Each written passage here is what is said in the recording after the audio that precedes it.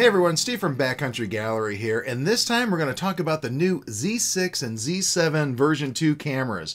I purchased each camera within a day or two of the stores getting them on their shelves, so I've had lots of time to take them out and put them through their paces. In this case, I kept my shooting local and have knocked out nearly 7,000 frames between the two cameras while exploring and photographing the wildlife in my local area. Also, before we get too far, I do want to remind you that I am not sponsored or affiliated with Nikon in any way. They don't give or loan me gear, and I receive no compensation from them in any way, shape, or form. Also, I want to give you a realistic expectation here. This video isn't a full field review like some of my others. There are tons of reviews out there already for these two cameras that cover all the tech specs. Plus, these cameras are like 80% of the original, I guess, Mark 1 cameras, so you probably have a pretty good idea of what we're dealing with here. Instead, I'm going to talk about how I've been using the improved features of these bodies with my wildlife photography and what that experience has been like. In short, I'm using this video to try to answer the simple question, are the Z6 and Z7 II good enough for wildlife photography?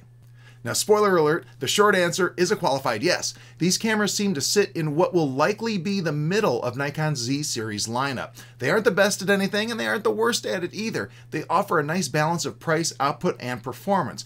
Put another way, if these were like DSLRs, I'd put them in like the D750 or D780 category, a solid, versatile, all-around general purpose camera. As you probably know, this was not my opinion when the Z6 and Z7 first hit the market. My field experience with those early cameras and the initial 1.0 firmware was far from satisfactory. Heck, even as the firmware updates came and things became better, for me, those original Zs were just kind of an okay choice for wildlife. Now, these second gen cameras are noticeably better, so let's talk about the differences. First, and it's minor, but I'm glad to see the dual card slots. I keep an extra SD card in there for those times I think I have enough memory and get out on a prolonged shoot and don't have an extra card in my pocket.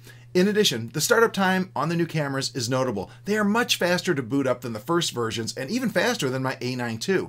One serious complaint wildlife photographers had with the Z cameras, and honestly many other mirrorless cameras, is that when you turn the camera along, it takes it too long before you can actually start shooting. The Z cameras have addressed this really well. In fact, I used to have my standby timer set for like 10 minutes or so with the first Z cameras because I was missing too many shots when the camera went into standby and I had to wait for it to turn back on. Well, these cameras aren't quite as fast as a DSLR for startup, they are quick enough that it's not been a major issue, at least so far in my shooting. I'm also a fan of the new grip. One of my biggest gripes with the first versions was the absence of that vertical grip, or at least one with controls. As wildlife photographers, we often find ourselves waiting for prolonged periods for an animal to actually turn our way. If the composition demands a vertical approach, it gets uncomfortable holding the camera with your finger on the release and your arm at your head level like this, kind of flailing around for extended periods of time. The grip makes it much easier to survive those extended waits. In addition, it just makes shooting verticals more stable overall. You know, the thing is, it's really comfortable to hold and the control placement is great. And honestly, I think they did a great job with this one.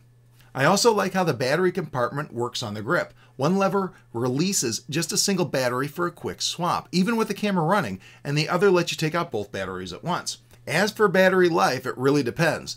During one active shoot that started with a full battery, I got about 1800 shots, and the camera was still showing that I had like a 50% charge left.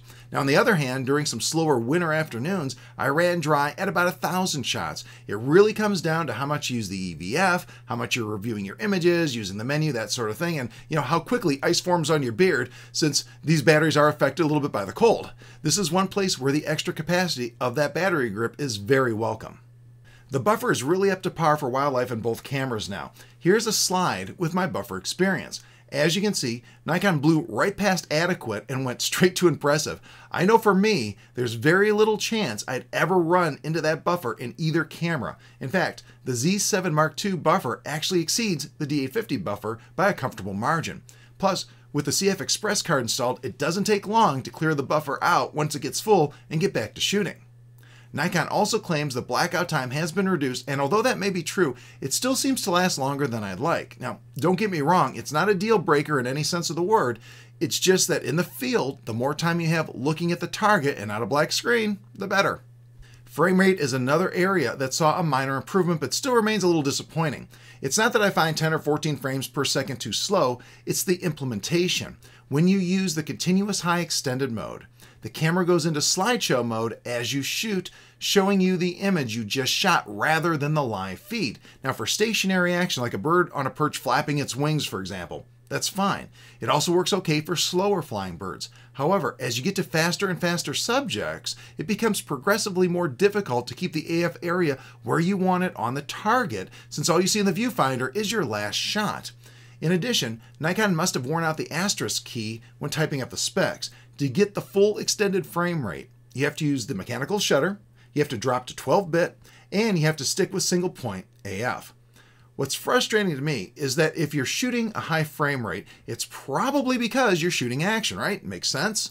Just when you need things like a live viewfinder feed and larger AF areas, they get deleted from the equation. Sadly, to get a live feed in the viewfinder as you shoot, you have to drop to normal continuous high, and that tops out at a relatively lethargic 5.5 frames per second. This is where I wish we saw some improvement. Something like 8 frames a second with a live feed would have been a welcome improvement here, but it just wasn't there. So what about autofocus? Before we jump in, if you're a Z series shooter, you know the AF systems on these cameras have a little bit of a learning curve to them. If you want to make that learning curve exceptionally shorter, make sure you check out my ebook, Secrets to Exposure and Metering for Nikon, the mirrorless edition. It'll have you running the Z series AF system like a pro in no time. So let's talk about the AF system. First, for static subjects, it's exceptional and really incredibly accurate. If the camera has a lock on a static subject, it's just plain sharp. I saw this again and again with an incredible, almost non-existent failure rate, and I suspect that the few times my static subjects weren't sharp was probably a problem four inches behind the viewfinder, not the camera. For action, it still did fairly well, about what I would expect for maybe like a D750 or D780. Wasn't perfect, but I was happy with the keeper rate with the normal AF areas. My favorite is still wide small for action. You might want to take a note on that one. It works great. It's the perfect size for tracking, and I seldom had an issue with it. While I wouldn't put the Z6 or Z7 II in the same AF action league as like a D850, D500, or D5 or D6, it's still a very capable camera. I think this AF improvement may largely be a result of the dual processor setup. In the past, with the old Z cameras, I would disable Apply Settings to Live View in the custom setting menu, and I noticed an improvement in AF performance. Now, I saw no need to do that with the new version 2 cameras, and I noticed no difference in AF performance when I tested it on some flight shots. Now, I'm going to reserve the right to change my mind about this as I try it with other subjects, but right now, everything seems to work really, really well with that setting turned on. Where I was disappointed was with the actual tracking mode. I had hoped to see an improvement here, but it doesn't seem to work any better than what we had on the first versions of these cameras. I had used it for tracking seagulls and other wading birds, and you know, it seemed like it was getting paid to drop the target. Time and again, the tracking system would see something in the background and jump to it. Heck, I mean, there were times it would jump to a cloud instead of staying with the bird. My hope is that Nikon updates this feature. I have a feeling the camera has the processing power to do more, and maybe this is just more of a firmware update issue.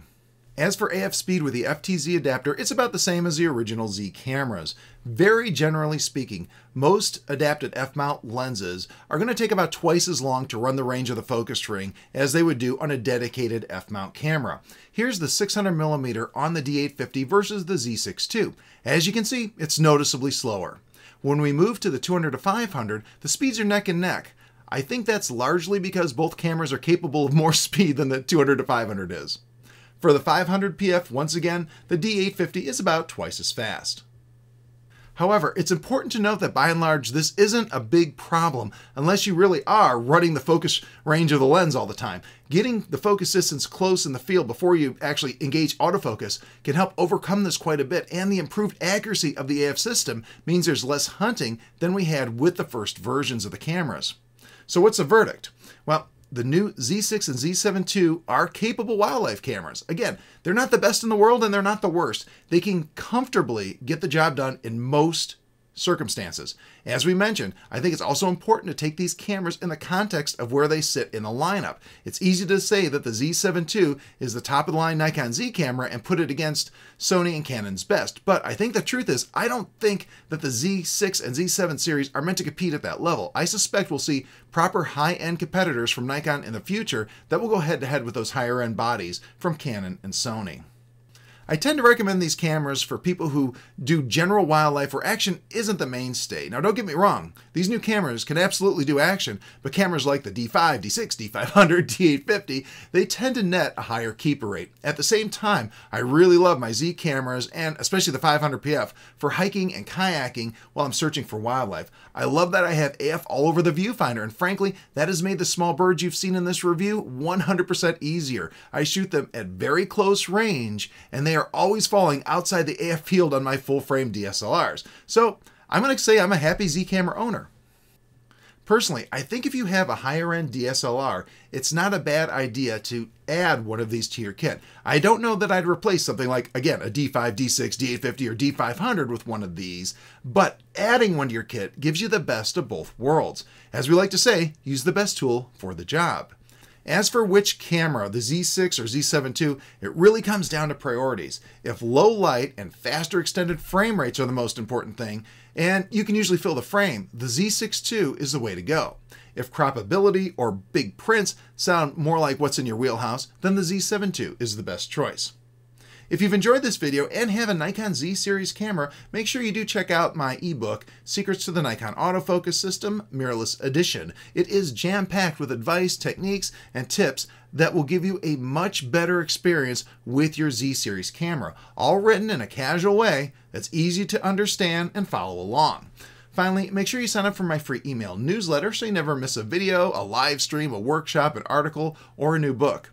Also, if you have a photography question or just want to have a fun place to show off your photos, check out the BCG forums, and you know what? I can't wait to see you there.